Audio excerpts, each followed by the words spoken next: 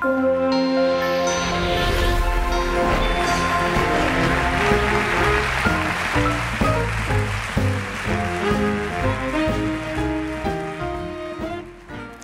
Bronwyn. Hello, how Thank are you? you? so much for being here. I'm so glad to be here today.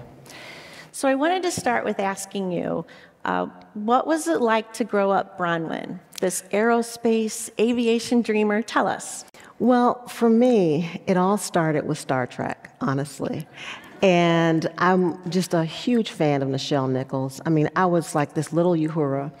And I always followed that show and Captain Kirk and uh, Mr. Spock. And I don't even know if I expressed this to my family fully, but I've just always had this love for space and for outer space.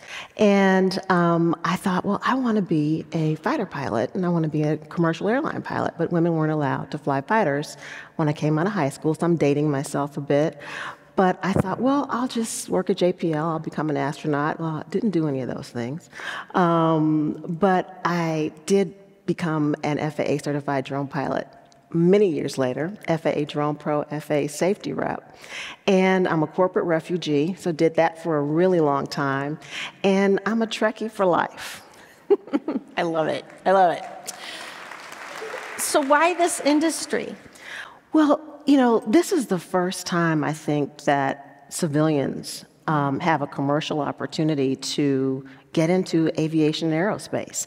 I mean, forever, this has been something where there's a barrier based on your education, your access to work for NASA or to work for uh, you know a larger defense contractor. But as a civilian, to be able to now become FAA certified and then create uh, new technology is amazing. So me and 852,000 other Americans are FAA certified pilots, and so my heart was in the passion of this opportunity.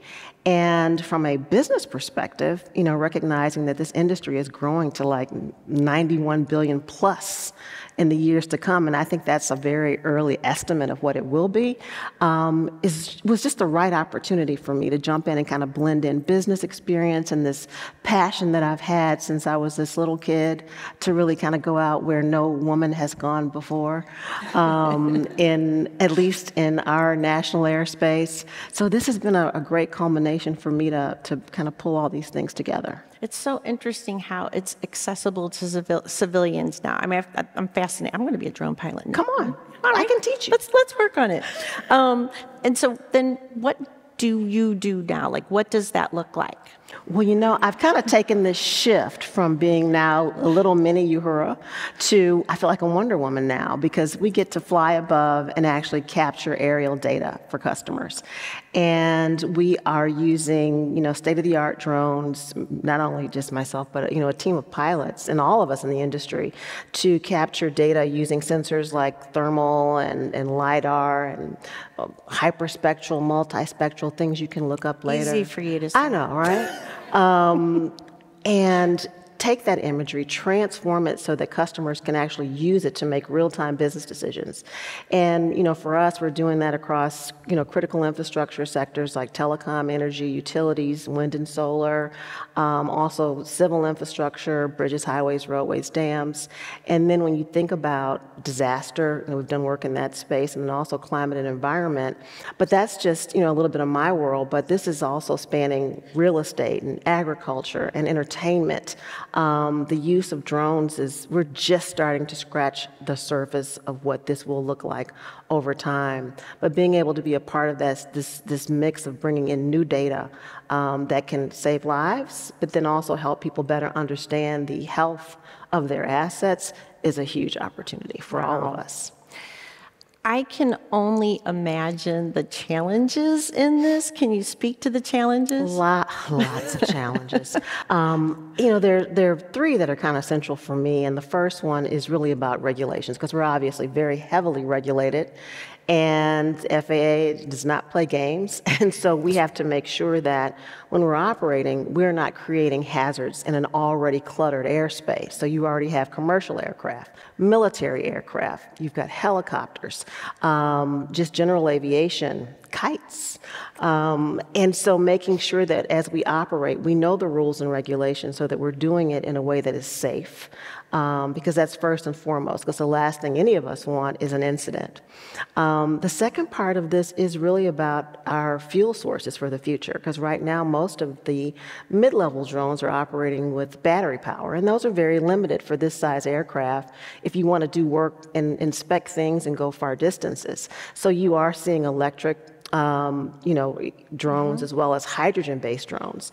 Um, but that's a real opportunity for the future as we think about how do we do more, how do we stay aloft longer, and um, that kind of leads me to this, this third one when I think about staying aloft longer, and that's, you know, public acceptance. Because a lot of people go, oh my God, there's a drone. I'm going to shoot it down. And I'm like, don't do that. Um, that is not good. Um, but ensuring that people understand that when we're doing this as professionals, we're not there to capture data about you. Uh, we are there to do the work that we're doing. Now, public safety may have a different perspective on how they're using drones in that manner. Um, but for most of us, you know, that are doing this work, that's not the, the general mission, and we don't, um, that's not one of the rules and regulations that we work by. Peeping drones, no, no. No. No, no. Not okay. Um, what are one of like one of the more or some of the more revolutionary applications coming to the commercial sector at this time? Well, you know, I think one of the things that many people may have heard about and get excited about is drone delivery. Um, a lot of markets, people are already getting pizzas delivered and sundries and other things, but this is a huge opportunity and it's one that's right here in front of us. And what this will look like is how many people are, you know, ordering Amazon every day, all the time, and other mm-hmm. companies. Well, now being able to get that much faster right to your door is going to be a revolutionary opportunity. And so we're trying to figure out how do we do that. So you think about some of the larger uh, companies that are delivering, Amazon and others, you're looking at probably a half a billion packages over the next, you know, 10 years being delivered, you know, right to your door. So the question is, how do we do that? Um, do we, you know, take that to a logistics center and then that last mile delivery is delivered by robot, autonomous vehicle? Those are the things that we're working out. But then how do we manage all of that traffic in the airspace? You know, you've got shoes coming over here to your house, Mish, and then you've got pizzas coming to my house, um, you know, how do we do that? And can you deliver, have it delivered to my, my fire escape? I am working on that. I am working on that. that would like be really easy, you I know? Would, I would love to do that. Part of our biggest challenge, however, is most infrastructure here, if you think about rooftops, there's nothing but HVAC on top. So, you know, how do we do this, both in an urban area or where you've got tall buildings? How do you do this for resi- you know, residential? So these are the many, many things that have to be worked through. And then flying beyond visual line of sight as we fly these longer distances from a central location to deliver. So there's a lot that has to be worked out. And you think about the medical aspects of this, even being able to deliver organs and um, you know essential elements across town are revolutionary. And then also into rural areas and places where people are challenged to get some of the you know healthcare and some of the items that they need in an emergency.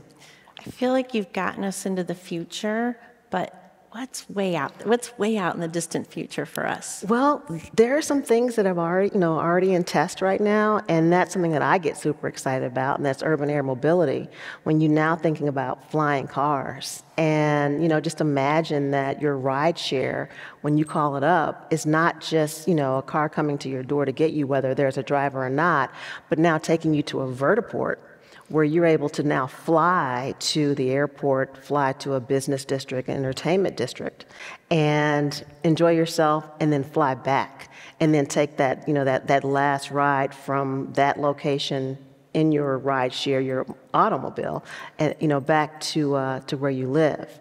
So that's being tested. It's in test. Um, there are some places around the world, even in the U.S., where this is being tested.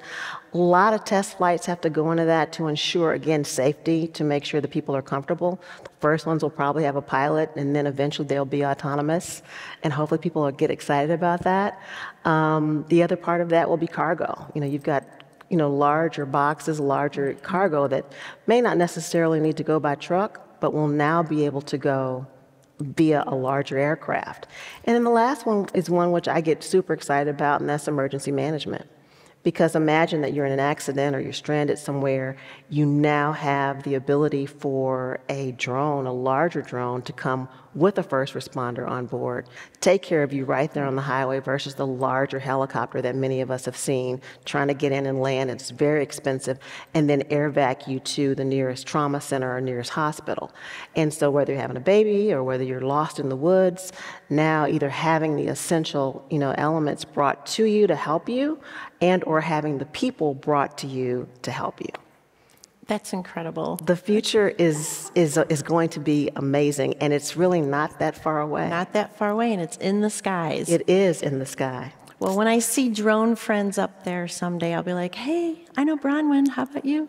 well, I'm, you know, I, I've, I'm now from Wonder Woman, and now I'm Judy Jetson. I love it. So- Thanks, Judy. Thank you. Bronwyn, thank you so much. Thank you so much. Thank you. Thank you.